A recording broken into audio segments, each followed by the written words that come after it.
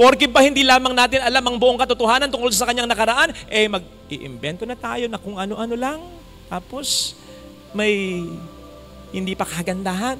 Parang tayo lang yan, di ba? Kapag hindi rin natin alam ang buong katotohanan, nag-iimbento rin tayo ng istorya na kung ano-ano. Halimbawa, suddenly may mga mag-asawang nagkahiwala, hindi mo alam ang dahilan. Ano agad ang usap-usap? Siguro, nangaliwa yung lalaki. Ay baka naman yung babae, di ba? Kita mo naman, parang may pagkamakire. Ay nako, sabi ng haba. Hmm. May biglang nag-resign sa trabaho. Ano kaya problema nila ni boss? Ano kaya natuklasan sa kanya ni boss? Ay baka may relasyon sila ni boss. Namatay, hindi ganong pinagburulan. Nilibing agad. Ay, may COVID yan. Pinakremate. Eh, ah, ah. Kaya yung mga kasama niya, ay, layo-layo. Ano nga? Ah, yan tayo eh, no? Nag-iimbento na kung ano-ano ayon sa kutob natin na kapag nagpasalin-salin ay nadadagdagan na at nagiging parang totoo na sapagkat bumibenta.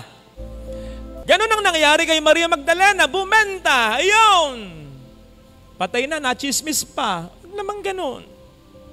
Eh kasi naman, Father eh, hindi pa kasi dinetalyado sa Biblia kung anong nakaraan niya. Para hindi na tayo nag-isip ng ganyan-ganyan. Eh kapatid, ang Biblia hindi naman tungkol kay Maria Magdalena o kung tungkol sa kung sino man.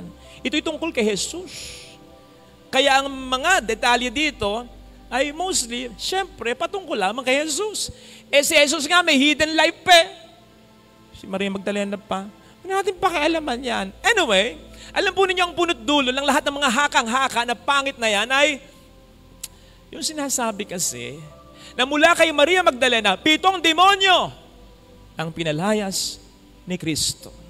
Nadagdagan pa yan ng ibang mga researchers na nagsasabi, ang Magdala daw ay sinakop dati ng mga Romano. At doon nagtayo, nagtataga mga Romano ng mga sexual or sex dens or prostitution dens. Kaya si Maria na taga Magdala ay naugnay sa ganitong uri ng trabaho. Kung napapanood nyo yung, yung series ng The Chosen, sa Netflix yata yun. Sabi sa akin ng isang nakapanood na, ang nilagay dong eksena, si Maria Magdalena raw ay ginahasa ng Romano. Okay? So yun eh. Dinagdagan pa yan ng awitin ni Freddie Aguilar, Magdalena, ikaw ay sawing pala. Nalinti ka na. Di ba? Mas natin. Anyway, kung ano yung pitong demonyong yan, kung yan ay literal na sumapi sa katabang lupa ni Maria. Kung yan ay sumisimbolo sa kasalanang nagawa niya, anuman yan, o sa kasalanang ginawa sa kanya, isa lang ang sigurado, matindi yan. Matindi yan. To the highest level yan. Pitong demonyo eh. Eh yun yung sapian ka lang ng isa, pinsalain ka ng isa, matindi na. Pito pa. Oy, oy, sige, sige, sige. Mag-isip ka ngayon. Pikit ninyo ang inyong mga mata. Pikit, pikit, pikit, pikit! Umisip kayo ng taong kinaiinisan niyo. Yung taong para sa inyo parang demonyong nagkatawang tao. O yung taong para sa inyo ay parang secret agent ng demonyo na pinadala para pahirapan ang buhay niyo. Isipin niyo ang mukha. Isipin niyo pangalan. Isipin niyo ginawa sa inyo. Tapos i-multiply niyo ng makapito. Sige, sige, sige. Kaya niyo? Yan nun. O dilat na. Pumikit talaga.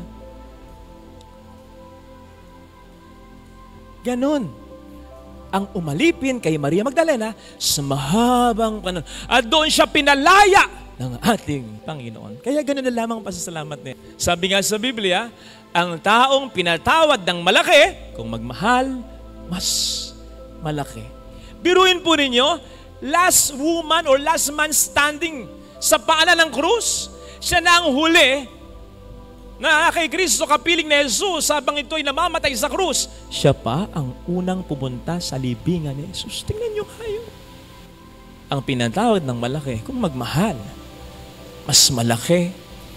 So ano man itong nakaraan ni Maria Magdalena, kung bakit hindi yan natatala sa Biblia, eto, ang sa palagay ko ay mas tamang sagot para dyan. Hindi na yan mahalaga para sa ating Panginoong Yeso Kristo. Tandaan po natin, ang Diyos all-knowing yan. Lahat alam niya. Pero kapag ikay nagsisi at nagbago ng talaga, all of a sudden nagiging, ah, ah, makakalimutan siya. Ano nga yung ginawa mo? Kinakalimutan niya. kung ikay nagsisisi at nagbabago ng talaga. Kaya, kung titingnan po natin sa mas malalim na paraan ang buhay ni Maria Magdalena, kung bakit ang ibinibigay lamang na detalye sa Biblia ay yung buhay niya, yung bagong buhay niya. Pagkatapos na nabago na siya at sumunod na siya kay Kristo, na nagtiwala at nagpatawad sa Kanya, kung bakit hindi na pinahalagahan yung nakaraan, eh sapagkat upang ipakita sa atin na sa totoo lang, yung buhay natin kasama ni Jesus, si Jesus na nagdadrive ng buhay natin, si Jesus na in charge sa buhay natin, yung buhay natin kung kailan natagpuan natin at naramdaman talaga natin si Jesus sa puso natin, yun talaga ang worth remembering. Hindi na yung mga nakaraan natin, lalong-lalo na yung mga pangit na nagawa natin. Lagay natin ang ating kanang kamay.